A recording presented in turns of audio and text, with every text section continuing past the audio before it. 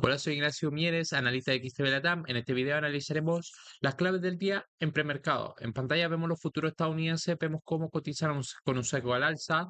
Destacamos el Russell 2000 con un aumento del 0.43% y una caída de la volatilidad del 1.76%.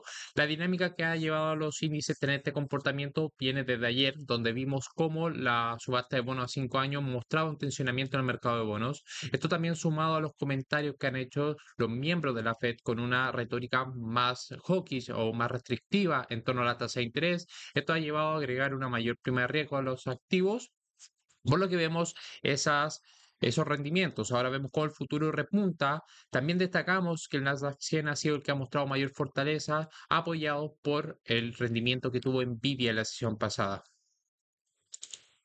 En Asia vemos eh, un seco al alza, igualmente destacamos a Japón que corrige un 0.07% tras datos de IPC, el cual se ubicaron por sobre la previsión, si bien hubo una disminución, se acercó al objetivo del 2%, estuvo por sobre la previsión, agregando mayores presiones inflacionarias. Esto llevó a que el bono a dos años de Japón alcance máximos de 2011 diciendo que los operadores estarían descontando una salida de la flexibilización de la política monetaria. En China vemos un repunte del 2%, apoyado por la autoridad monetaria que, eh, según informes, estarían buscando estabilizar la moneda antes de la reunión del 4 de marzo.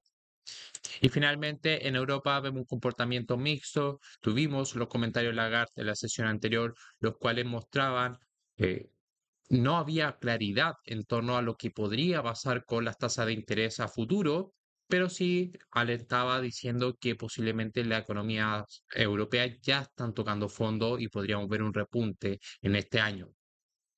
Para la sesión de hoy, los datos se centrarán en Estados Unidos, en específico antes de la apertura de mercado con los pedidos de bienes duraderos, una medida para entender cómo está la economía estadounidense, recordar lo que está presionando son los futuros de la tasa de interés, por lo que un dato muy por sobre la previsión podría tensionar este mercado, por lo que hay que estar muy atento a la publicación del dato y cómo se comporta el mercado.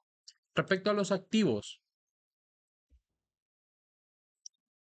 En pantalla tengo el SP500 en un gráfico de 15 minutos. Señalamos que el nivel de los 5078 era un nivel de suelo, de soporte para el precio. Vimos una ruptura, vimos una consolidación lateral y ahora estamos viendo un giro alcista. Tenemos que ver cómo se comporta el precio. Si el precio no es capaz de superar la media móvil de 200 periodos y encuentra un techo en esta, podría continuar con este movimiento correctivo en búsqueda de la zona de los 5055.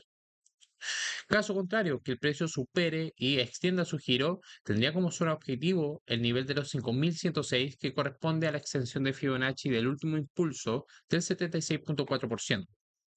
Nasdaq 100, igualmente, acá podemos ver cómo se muestra más muestra mayor fortaleza que el SP500 con un movimiento lateralizado más como un movimiento correctivo en precio. Sin embargo, las medias móviles ya comienzan a mostrar este periodo de consolidación lateral, por lo que el nivel sigue siendo el de los 18.062. Este es un nivel crucial para poder determinar cuál podría ser la dinámica del precio. La ruptura de este nivel agregaría mayor presión alcista, lo que podría llevar el precio a buscar la zona de los 18.265. Caso contrario, que el precio no sea capaz de superar, puede continuar con esta consolidación lateral o con una corrección en precio en búsqueda del nivel de los 17.817. Dólar index por su parte, vemos cómo ha continuado la corrección del dólar index, sin embargo, una corrección bastante congestionada, por lo que el nivel continúa siendo los 103.8. Si el precio es capaz y continúa manteniendo esta estructura de canal bajista, que voy a buscar ahora, esta estructura de canal bajista, el precio podría encontrar suelo en el corto plazo en la zona de los 103.3. La ruptura del canal alcista y superación de los 103.8 abriría un movimiento correctivo mayor que pueda llevar el precio a buscar la zona de los 104.3. El petróleo, por su parte, indicábamos que el nivel clave era los 80.15, por lo que podríamos esperar un giro. Efectivamente, vimos ese giro. Estamos viendo cómo las medias móviles de corto y mediano plazo cruzan la de largo plazo y vimos la superación de los 81.29. Vimos una gran extensión y una estructura de reversión.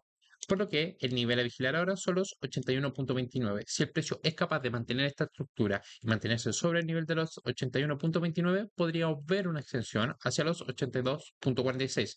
La ruptura del 81.29 podría llevar el precio a testear nuevamente el suelo de los 80.15. ¿Qué es lo que está tensionando acá? Hay dos factores. Hay la incertidumbre en torno si van a llegar a un acuerdo Hamas y, e Israel en torno a una, a una tregua o caso contrario es el caso de los recortes. Se espera que posiblemente en marzo la OPEP podría extender su recorte y esto estaba afectando el precio de la materia prima.